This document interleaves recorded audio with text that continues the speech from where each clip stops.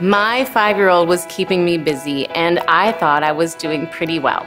But diet and exercise can only get you so far. One day, I found some of my pre baby clothes in the closet, nothing fit. That's when I knew it was time to take the next step and try the CoolSculpting procedure. It was an easy procedure, absolutely no downtime. So, yes, I'm very happy with the way I look and have a lot more confidence now.